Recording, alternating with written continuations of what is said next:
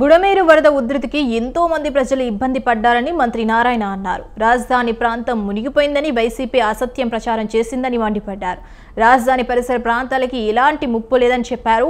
రాజధాని నిర్మాణానికి ఎలాంటి ఇబ్బందులు తలెత్తకుండా మూడు వాగుల స్టోరేజ్ కెపాసిటీ పెంచుతామన్నారని తెలిపారు. అయితే వచ్చే రెండు నెలల్లో టెండర్లు వేసి పనులు ప్రారంభించి వచ్చే వర్షాకాలంలోపు పూర్తి చేస్తామని వివరించారు.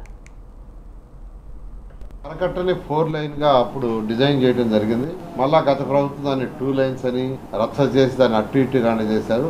ఏదైతే ఒరిజినల్ ప్లాన్ ఫోర్ లైన్ ఉందో ఆ ఫోర్ లైన్తో దాన్ని డిజైన్ చేయమన్నాం.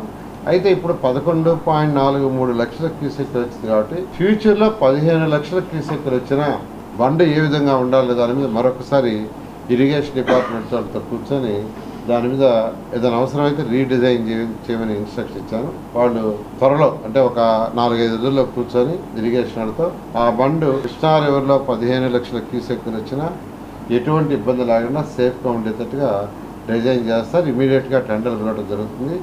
ఈ యొక్క రిజర్వాయర్లకి తర్వాత కొండవీటి వాగు పాలవీగు పాలవాగు గ్రావిటేషన్ కెనాల్స్ మాత్రం మరొక రెండు నెలల్లో టెండర్స్ పిలిచి నెక్స్ట్ రెయినీ సీజన్కి పూర్తి చేసే విధంగా చేయాలని అధికారులకు ఆదేశించాను వాళ్ళు కూడా కంఫర్టబుల్గా ఇక ఐకాన్ బిల్డింగ్స్కి ఎలాంటి ఇబ్బందులు లేవని ఐఐటి నిపుణుల నివేదిక ఇచ్చామన్నారు మంత్రి. రాజధాని ప్రాంతంలో జంగీ క్లియరెన్స్ ఎనభై శాతం పూర్తి చేయడం జరిగిందని చెప్పారు.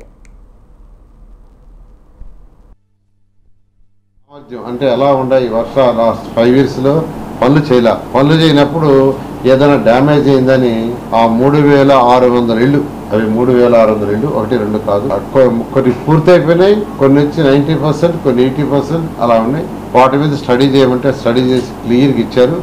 ఎటువంటి ఇబ్బంది లేదు హండ్రెడ్ పర్సెంట్ పర్ఫెక్ట్గా ఉన్నాయి. ఆ వర్క్ని క్యారీ ఆన్ వాళ్ళు ఇచ్చారు. ఆ వర్క్ కూడా టెండర్లు పిలిచే విధంగా ప్రక్రియ స్టార్ట్ చేయమన్నాను. దాన్ని బహుశా వన్ మంత్లో టెండర్లు దాన్ని పిలిచే విధంగా ప్రక్రియ చేస్తున్నారు. ఒక రెండు నెలలు వన్ మంత్లో కాకపోయినా రెండు నెలలు దానికి కూడా టెండర్లు పిలిచి ఆ వర్క్ను కూడా వీలైన తొందరగా కంప్లీట్ చేయడం జరుగుతుంది. ఐఐటి వాళ్ళు